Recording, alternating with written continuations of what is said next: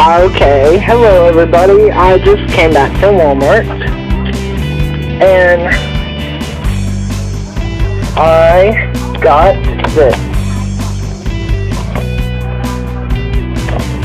I got the two pack of Hudson Hornet Piston Cup Lightning McQueen and Sally with table from the Wheel Well Motel series. There's some other ones you could get. There they are right there. You could get Body Shop Ramon, Slow, Red, and Fillmore. And there they are. This is from Cars 2.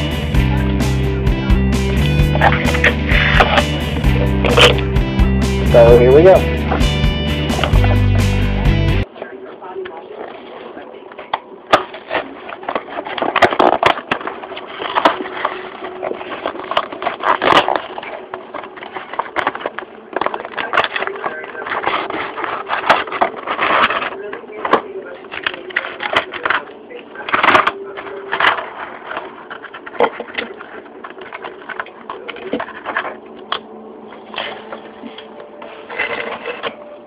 So there's Lightning McQueen and Sally. So we're going to take a look at them.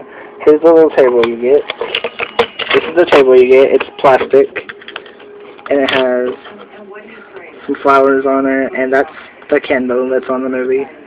And that's how it's built in. It's just pegged in, uh, in the candle. Okay? And then here's Sally.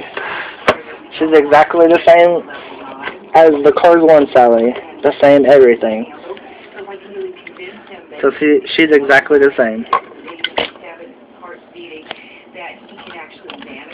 And the Lightning McQueen is a new Lightning McQueen. He has a new smile that I've never seen on a Lightning McQueen.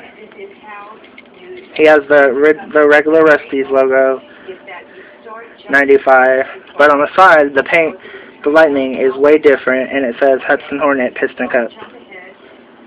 And his tires are different. They have yellow they're red and yellow rims instead of just regular red rims. But it still has those lightning bolts. And it still says medicated bumper ointment.